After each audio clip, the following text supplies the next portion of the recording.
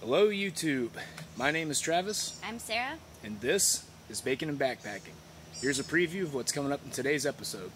Look at this monster. I think it's about that time. You want some fossils? Once fossils. Welcome back everybody. Uh, it's been a while. It's been probably a month, right, since Dolly Sods. So yeah, it feels like I haven't been backpacking in a long time. Uh, you'll notice a couple things a little bit different today. Got a little mini fishing rod on my pack. There's a pond right along the trail, so might stop, do a little bit of fishing. There's a dam, and apparently there's a bunch of fossils there, so maybe we'll try to uh, dig up a couple fossils or something as well too. Uh, pretty short trip. Uh, I think it's gonna be like 12, 13 miles round trip, so we're just gonna throw in a couple of miscellaneous activities that we typically don't do backpacking and you know, see what this trail system's like out here.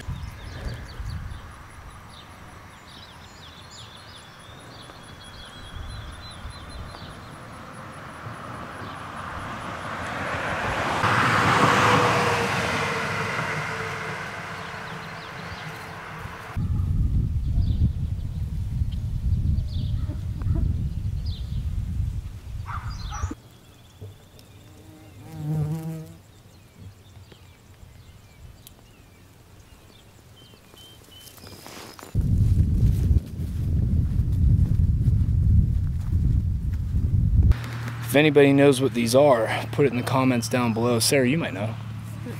Sara doesn't know either. Hi, Mr. B. Well, hey, kind of cool so far. Walking through a uh, meadow of flowers. Pretty, Sara? So. Lots of bees. Yeah, lots of bees, but no, cool. Good change of uh, pace for, for an Ohio backpacking trail. Instead of just, you know, dense jungle, basically. Uh, it's pretty cool. Uh, we're really close to a road and a lot of people's homes. Uh, we'll eventually get away from those. Uh, right now, we don't really feel like we're, you know, out in the woods, but at least it's pretty. Nice day, too.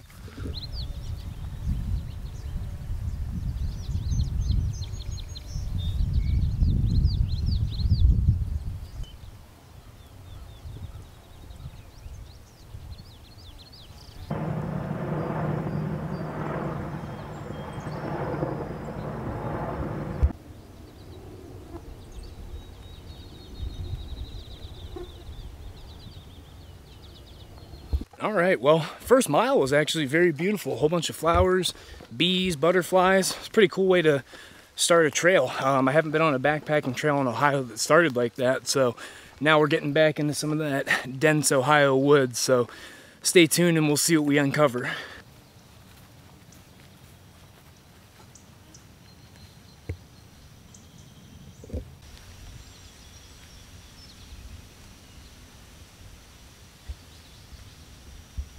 So a little bit about this trail. Uh, it's actually a, a 28 mile trail, I believe, uh, and it runs through two different metro parks.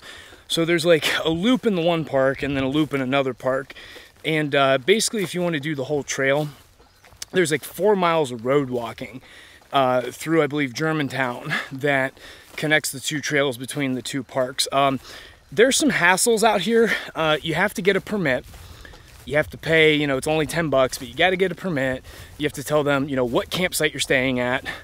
Uh, you know, give them all your information, your license plate number, make, model your vehicle, color, uh, I think your driver's license number. Tell them like what parking lot you're going to park at. So there's a lot of logistics. It's definitely different than, you know, what I would typically consider or want to do, you know, backpacking but so far it's actually like a pretty cool pretty cool trail. So um, right now i'm definitely not you know regretting the decision. This is something different. We'll see how it pans out you know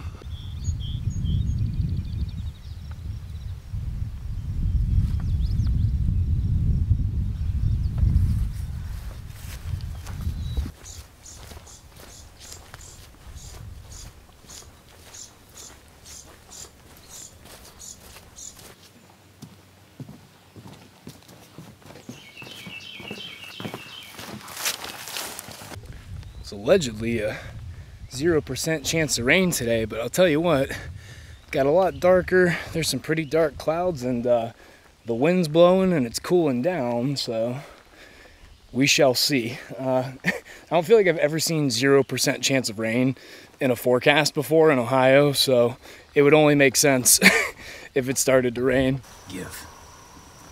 Give. Give.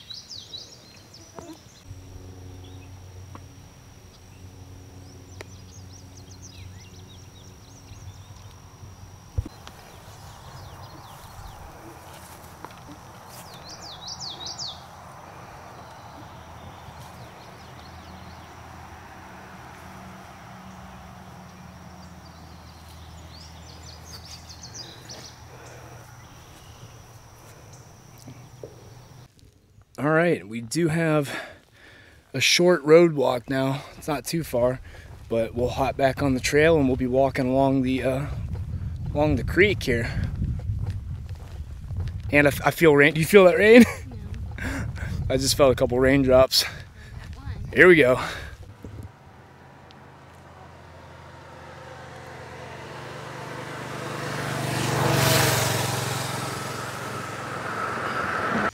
Well, we've been in the not too interesting uh, part of the Ohio backpacking experience for the last mile or so, but we're closing in on the pond, so we'll see what the situation is there. I think it's probably about a mile away. Uh, see if we can maybe do some fishing there, stop, pull out the chair, uh, you know, eat some lunch, and then uh, head on into camp. Ran into the Metro Police out here in the woods.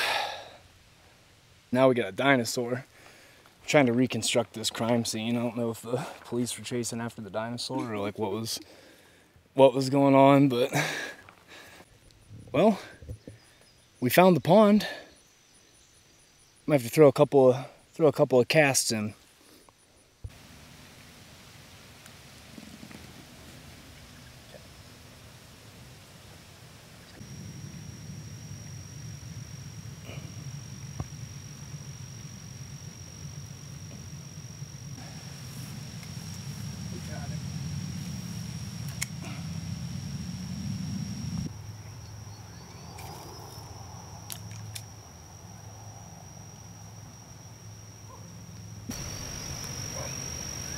I can see him.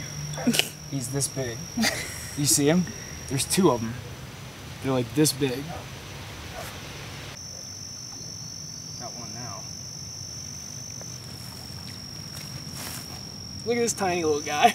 Look at this monster. Pond monster.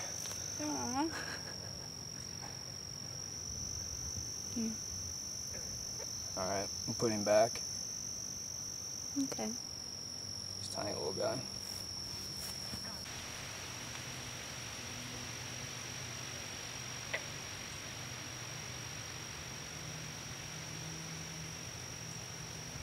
Well, lots of fish, uh, but they're all about two to three inches long. Uh, a bunch of little baby bluegills in here, so uh, nothing too exciting. I figured we'd put the one on camera, but uh, not too many monsters around right now, and we got to get going. So, pretty view though.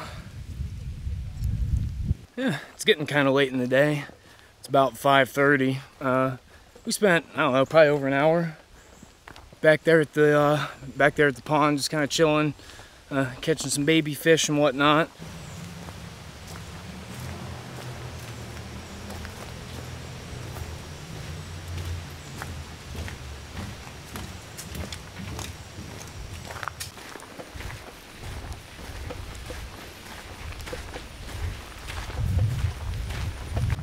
Well, we must be going the right direction.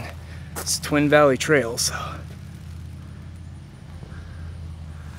right, well, off we go. About a mile and a half from camp.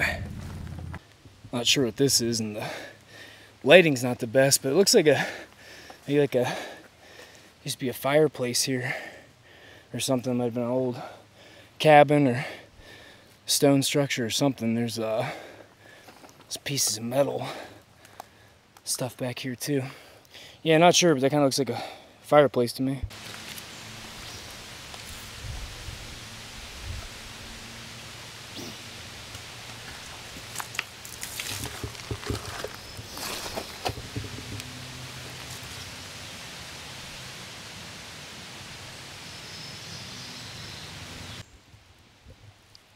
All right, well, got our final water fill up in. Got to try the pond water. The pond water was good, man. The uh, creek water is a little, uh, tastes a little bit like dirt, but all right, well, we're probably five minutes from camp, so we're gonna climb up out of here and go set up. we have bacon.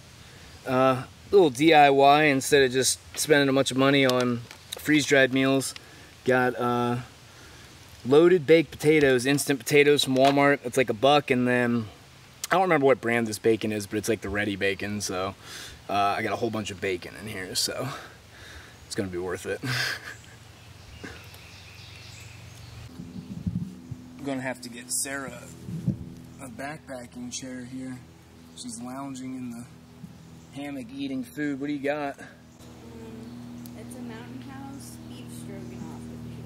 Well, hopefully there's no bears since you're eating in the hammock, because that would be unfortunate. But oh Yeah, yeah, They smell like fish, so. yeah, it's true. I do have fishy hands from the massive uh, trophy bluegill that I caught earlier. Bye. All right, as you guys can tell, we're at campsite C. Been posted up for a little while. I figured uh, just give you a little campsite tour. Uh, not much to see here. uh, unfortunately for Sara, there's not a single flat spot uh, in campsite C, and this is it. There's no like chairs, seats, or even logs or anything like that. So, uh, yeah, I've been just sitting in the hammock, kind of chilling and uh, she's been sitting in the chair zero. But yeah, I don't think I have too much more to record tonight. Uh, sun's getting ready to go down. I think it's kind of coming up on about nine o'clock, so we're just gonna kind of sit here and chill and uh, watch the sunset and uh, probably get an early night's sleep, man. I'm beat. Uh, I know Sara's beat too. It's just the heat and the humidity, especially. So, I mean, it was only like mid 80s today, but when we first got out of the car, I think it was 98% humidity. So, but yeah, this is home.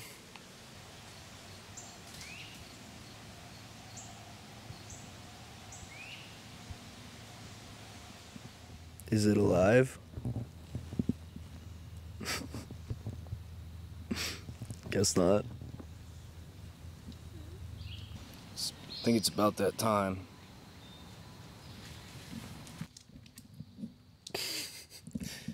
Uh, quick breakfast today. I just had a Clif Bar.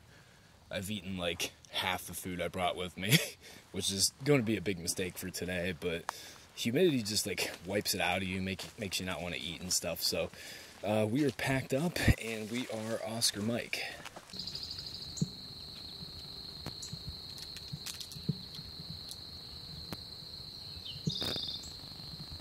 All right, just moving along. I think we're gonna stop uh, stop at the dam. I didn't really get any good shots of it yesterday because we ended up going on the the wrong side of it.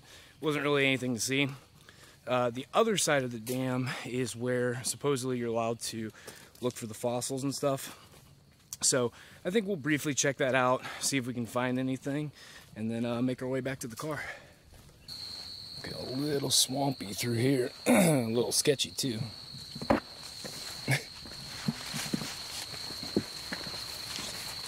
found our way to the Amazon.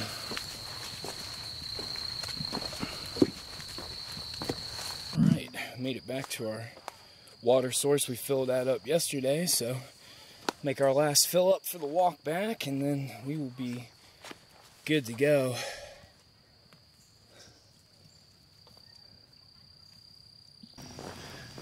Alright, well, today we're going to walk over the bridge that we walked under yesterday and uh, get over here to the other side of the dam and see if we can find some fossils.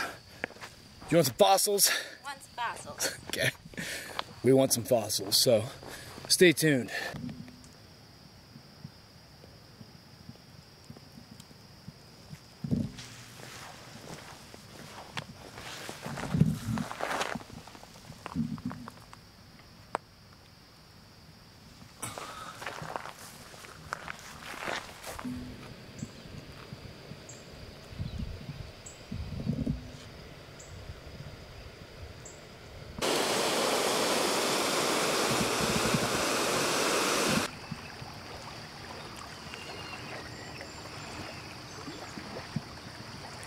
Well, we were here for like a minute and we found something. I'm trying to focus it.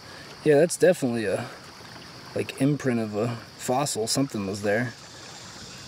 It's a pretty big hunk. Uh, I mean, I'll take it back if you want. it's whatever. I'll carry it back. You're allowed to. Uh, you're allowed to take three. They say. Another one right there. Where my pinky is. This is a good one. We got a bunch of them on here, and this one's small enough that it can. Uh, it's not gonna be a pain to carry it back. So, man, we were down here for five minutes, and we we found some good ones.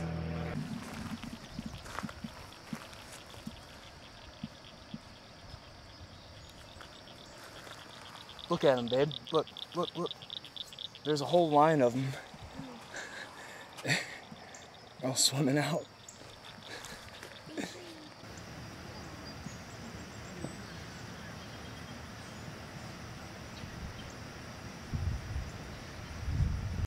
Well, that was pretty successful. We got a good specimen. I think we're going to uh, eat some food and then get on out of here. I think we're in a uh, pretty old forest. There's some very sizable trees down here. Way bigger than a Sara. Kind of to my point, there's another monster beech tree that Sara's walking past. I've seen about four or five of these suckers now. They're just enormous.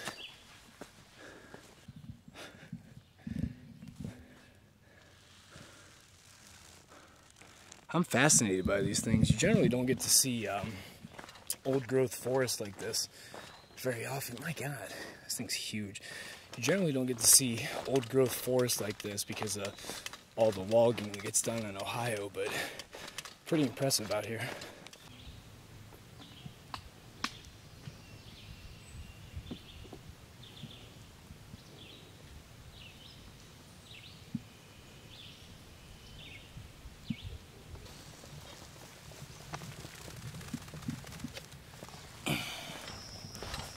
Let's see what we got here.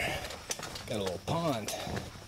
Uh, looks like a pretty, uh, looks like a malaria pond. Ooh.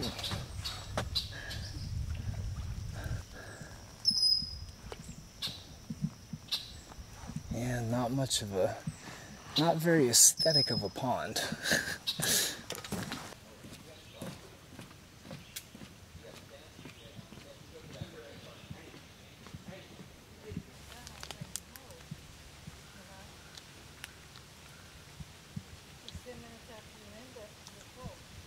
All right, guys, we're about a half mile from the car, so I think we're gonna go ahead and wrap this thing up. Uh, overall, not a not a bad trail for Ohio in the summer. Uh, you know, the kind of like the benchmark for Ohio backpacking trails is Zaleski. Like everybody loves Zaleski. Uh, I would say this place had more views. It was much more diverse as far as like the landscape. You know, there's like three different ponds. Um, you know, a creek, a dam. We got some fossils, did some fishing. So honestly, for, you know, a trail system that was in a metro park, honestly wasn't bad. Uh, camping situation wasn't my favorite and the, you know, permits and paying money and, you know, all that stuff wasn't really up my alley. But uh, overall though, um, I'd come back. You know, wasn't wasn't too bad at all. So, anyways, guys, uh, thanks for watching another video. Uh, if you're liking the content, go ahead and give it a thumbs up. Go ahead and subscribe to the channel if you guys want to see more, and we'll see you in the next one.